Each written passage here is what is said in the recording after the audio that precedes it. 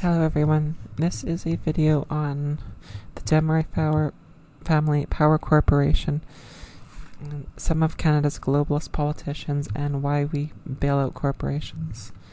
Um, in the screen here is a video by Q Point Assembly on the on the Desmarais and the Maurice Strong who used to run Power Corp. It's a great video, do check it out. Uh, Rebel Media as well did a video on Desmarais family and their connections to Canadian politicians. Again, please check it out. Um, John Rae, who's the brother of Bob Rae, oh, Bob Rae being the Ontario Premier, worked at Power Corp for many years. Um, Paul Desmarais Sr. used to run the, com- he's the company, he's now deceased, and Brian Mulroney was his lawyer for many years. Pierre Beaudoin, who's the chairman of Bombardier, sits on as a board of directors for Power Corp. Yeah, could be why we bail out Bombardier.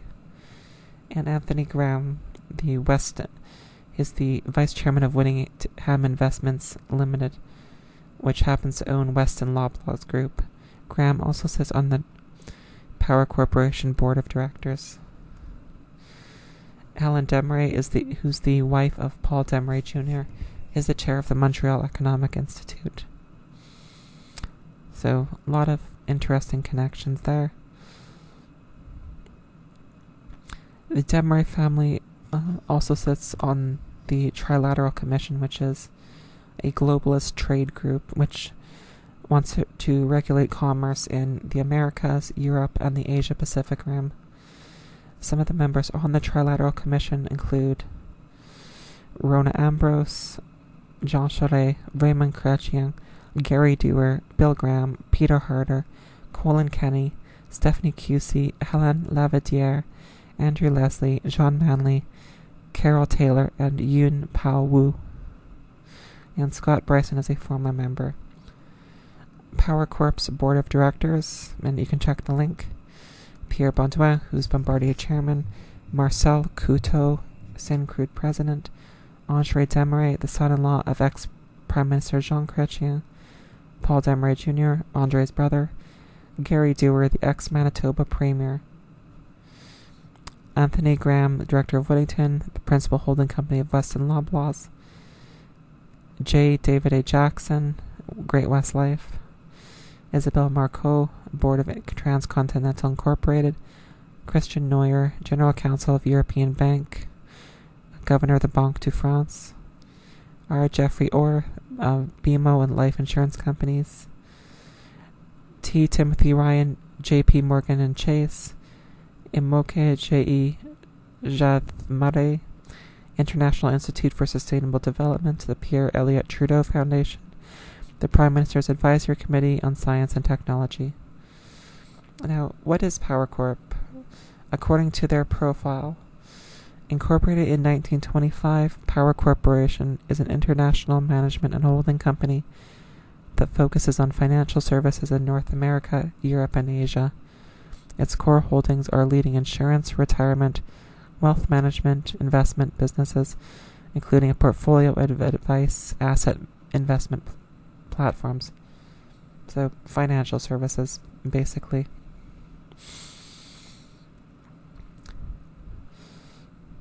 Um, fun facts about the Bombardier bailouts. We bailed out in 2016 to the tune of $1 billion and a $372 million quote unquote loan in 2017, which the Bombardier executives used part of to increase their bonuses. And this is from the Fraser Institute, which admittedly is Koch funded. Bombardier Inc., which receives, which recently announced it would lay off 1,700 people, has been one chronic seeker and regular recipient of such taxpayer assistance.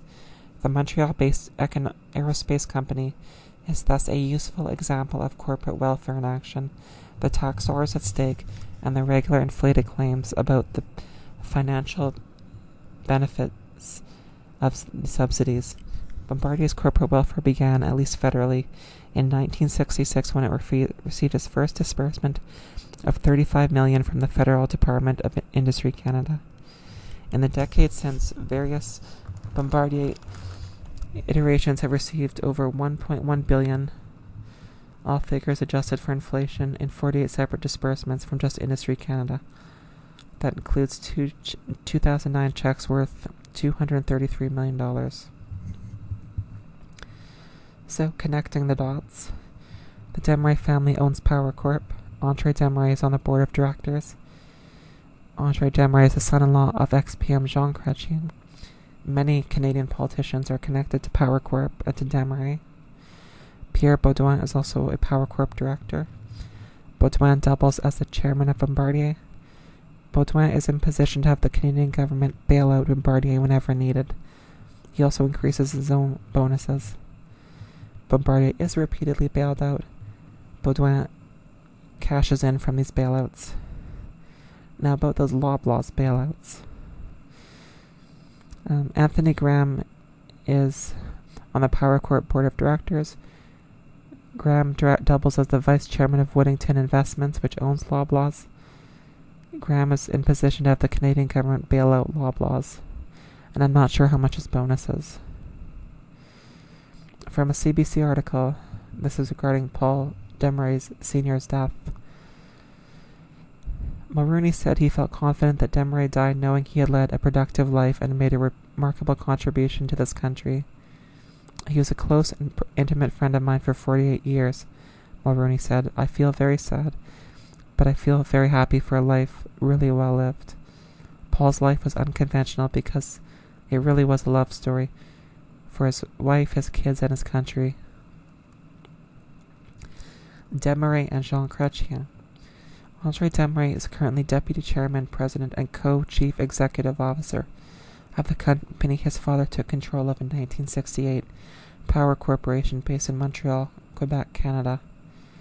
He married France Chrétien Desmarais, the daughter of former Prime Minister of Canada Jean Chrétien, on May 23, 1981. They have four children. Desmarais and Paul Martin. Martin began his career as a special assistant to Paul Desmarais, a friend of his father's, and a man often referred to as Canada's wealthiest citizen. Desmarais was the force behind the creation of Power Corporation, an immense conglomerate with stakes in the pulp and paper industry, the media, public transport, and insurance services. By 1969, Martin had risen to a vice presidency at the Montreal based giant, and four years later, Desmarais put him in charge of one of its subsidiaries, Canada Steamship Lines Limited. And Martin, in 1981, he, Martin and a business partner bought CSL for $116 million. Desmarais' influence at his death.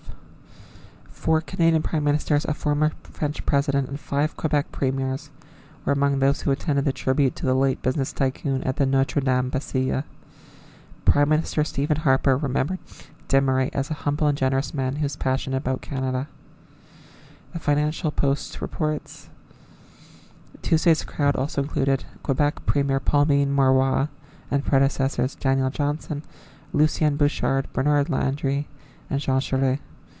Also present were ex media mogul Conrad Black, former Bombardier president Laurent Beaudoin, ex Bloc Québécois leader Gilles Duceppe, former Liberal leader Jean Liberal leader Bob Rae, and his successor Justin Trudeau. And Desmarais and the Montreal Economic Institute. Well, um, Paul Jr.'s wife Helen is now in charge. They have a in 2005 they got a new executive vice president named Maxime Bernier, who left the next year to go into politics. Interesting note Bernier became industry minister soon afterwards and helped bail out Bombardier. And while it's difficult to prove, it seems looks almost certain that corruption played a role in Canadian taxpayers having to bail out two companies, Bombardier and Loblaws. Like the connections between the Desmarais family and these companies are very obvious, and it's corruption and cronyism that we do these things.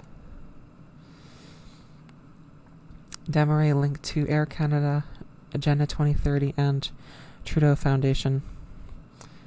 Sounds absurd, but bear with me.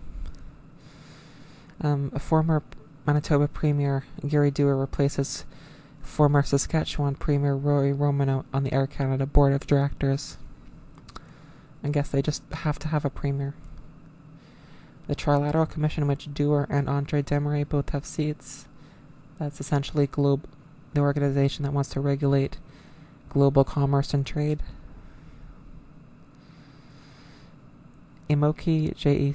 Szathmáry is a director on the International Institute for Sustainable Development, the Pierre Elliott Trudeau Foundation, and the Prime Minister's Advisory Committee on Science and Technology. She's also a director at Power Corp. And from last time, Pierre Beaudoin is the chairman of Bombardier, also a director at Power Corp.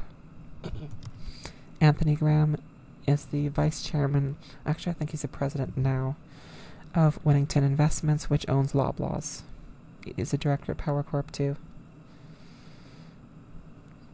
Power Corp and Air Canada.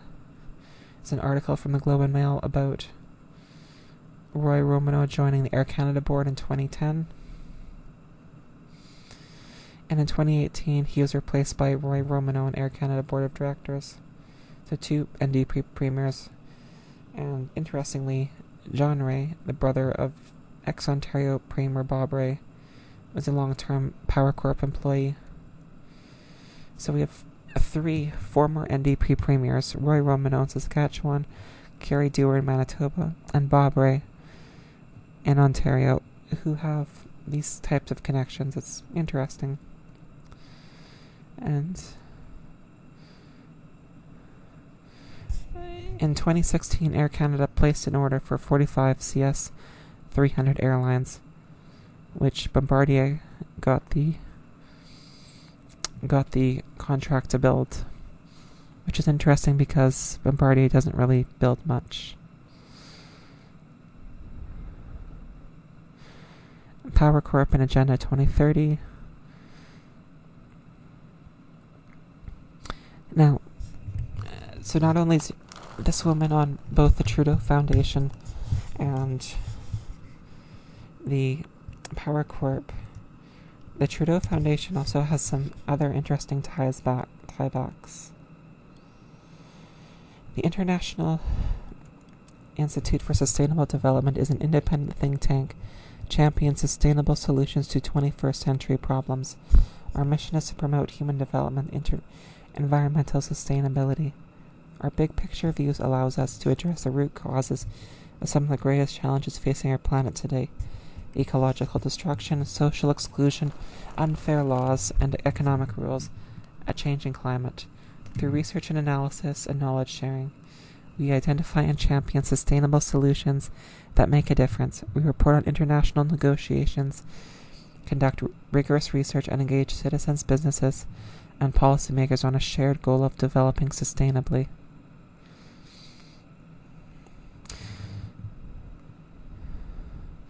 And the IISD also reports.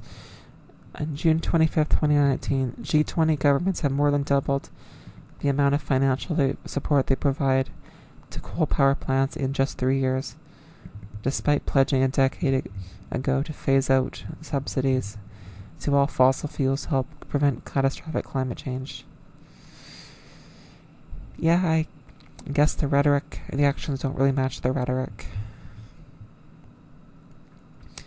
Um, Edward Johnson is both vice chair of the board of Trudeau Foundation and is formerly the vice president and general counsel for Power Corporation.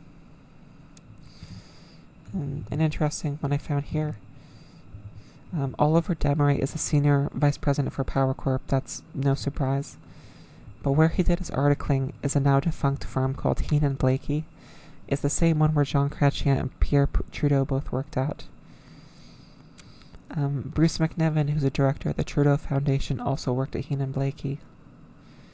Megan Leslie is a former op- deputy opposition leader in the House of Commons for the NDP. She's a director at the Trudeau Foundation and is also a senior consultant on oceans governance for World Wildlife Canada. That's the same organization Gerald Butts works for. Naseema Momani is another director of the Trudeau Foundation. She covers Arab Canadians and transnationalism issues. Uh, Marc Renaud is another Trudeau Foundation director who served as an advisor for UNESCO, the OECD, the European Union, and the EU is, you probably know, is our little project to to eliminate individual nations and just have the European community. Also worth a mention is Alexander Trudeau, Justin's jihad sympathizing brother, is a founding member of the Trudeau Foundation, although it could be an honorary title. Um, although the page has been deleted, Roy Romanow, yes, that Roy Romanow, is a member, well, member of the Trudeau Foundation. David Johnston, former Governor General, a member of the Trudeau Foundation, but that page has been deleted as well. The Trudeau Foundation cites four important areas human rights and dignity, responsible citizenship, Canada and the world, people and their natural environment. They claim to be involved in researching, but subscribe to, subscribe to their newsletter if you like, it's free. So just a glance at Power Corp and their tentacles. You have five prime ministers at least. Pierre Trudeau, Brian Mulroney, Jean Chrétien, Paul Martin, Justin Trudeau. And among other politicians you have uh, Bernier, Peter MacKay, Roy Romanow, Gary Doer, Bob Rae, Jean Charest, Denis Coderre, Pauline Marois, and Megan Leslie. And to name a few companies they influence Bombardier, Weston Loblaws, Montreal Economic Institute, Canada Steamship Lines, Air Canada, International Institute for Sustainable Development, and the Trudeau Foundation. So, would Bombardier be getting bailouts if Pierre Beaudoin was not on Power Corp's board of directors? Would Loblaws have gotten their 12 million bailout for fridges if Anthony Graham was not a Power Corp board of directors? Would Air Canada have gotten bailouts if not having if not for having former premiers as directors?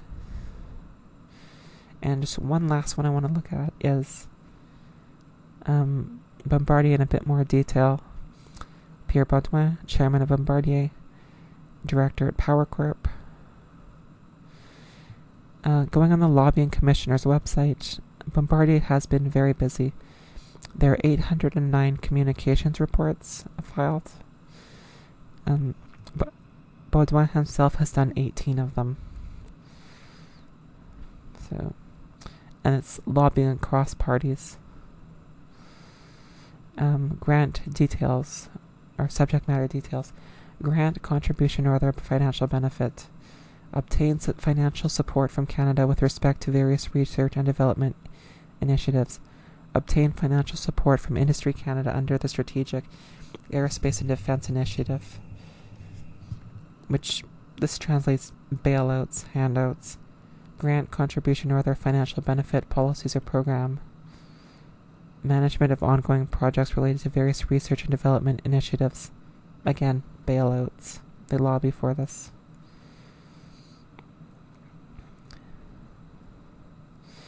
And who do they lobby? Well, the Bank of Canada, Canada Revenue Agency, Finance Canada, Export Development Canada, Global Affairs Canada, the House of Commons, Immigration, Refugees, and Citizenship Canada. Maybe they want foreign cheap foreign workers. Infrastructure Canada, Innovation, Science, and Economic Development Canada, National Defense, National Research Canada, sorry, National Research Council, Prime Minister's Office, Privy Council's Office, Public Safety Canada, Transport Canada, and the Treasury Board. Hmm. Anthony Graham, Director for Bombardier for Power Corp. So he's much the same position as Pierre Beaudoin. Beaudoin donates to both the Liberals and the Conservatives, so he he plays both sides. So no matter who wins, he's guaranteed access. National Post did a great article, but I wish they'd published all their findings. Though an interesting quote in there people who max out their individual donations to both parties are hedging their bets ahead of the fall election, according to Duff Conacher, the head of Democracy Watch and ethics watchdog. With those donations, they're at least able to buy access to the top people in the parties, and like, having that access gives them a chance to have influence over the decisions. And the National Post, they're, they're not wrong.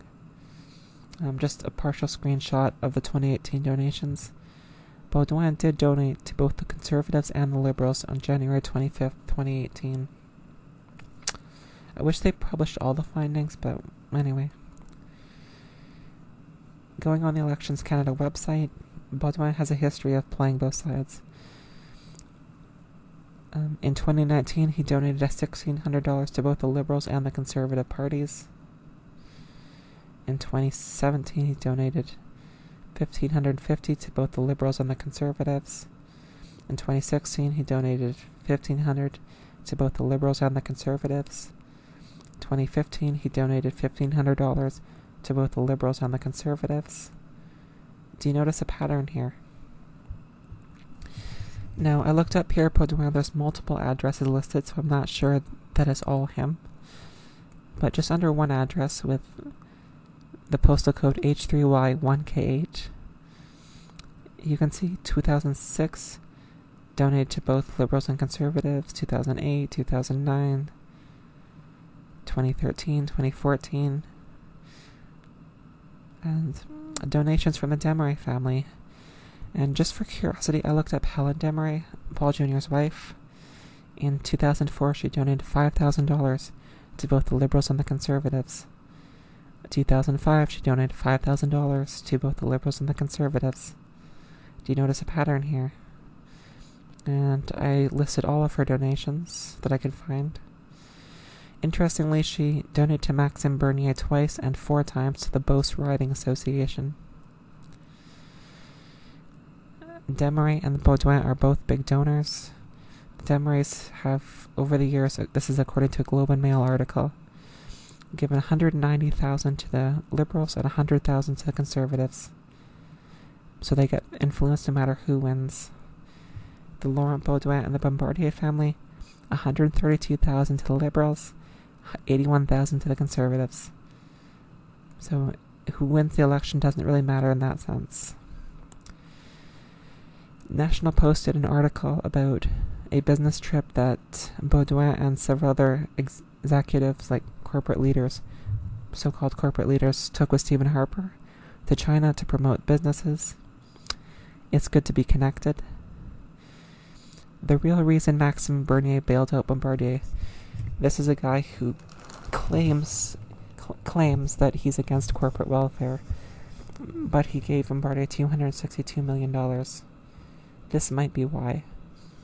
Pierre Beaudoin, both with Bombardier and Power Corp. The heads the heads of Power Corp are Andre and Paul Desmarais, Paul, the two brothers. Paul Paul Jr.'s wife Helen sits as the chair of the Montreal Economic Institute. And Maxime Bernier worked for MEI immediately before getting into politics. So one legitimately has to wonder was he paying back any favors when he arranged for this bailout to happen? And to think that he has nothing to, that, you know, Helen Desmarais doesn't show any interest in him, well, she donated four times to his riding association in Beauce and donated twice to him personally. And to connect the dots, Bombardier ch- chairman Pierre Beaudoin works for Paul Desmarais Jr., who's married to Helen Desmarais, who runs the Montreal Economic Institute, which employed Bernier, who became the industry minister, who has the power to hand out taxpayer money. And this was from Global News Bombardier executives pocket bailout money. The heads of Bombardier, including Beaudoin, used a portion of the taxpayer bailout to increase their own salary and bonuses. Yeah, because that's that's really why we're paying them. political connections equals bailouts. Now, taxpayers are understandably upset that we keep bailing out companies like Bombardier. But what you have to understand is it's because of the connections they have to the people in power. You know, this is not some random thing, it's not incompetence, it's not, you know, just, you know, well intentioned people. This is flat out corruption and cronyism. And this really needs to stop. And to be honest, I think a lot of these people should be in jail for defrauding the public. Anyway, that's all I have for you guys in this video. If you enjoyed it, please like, subscribe, and share, and leave a comment. Thank you.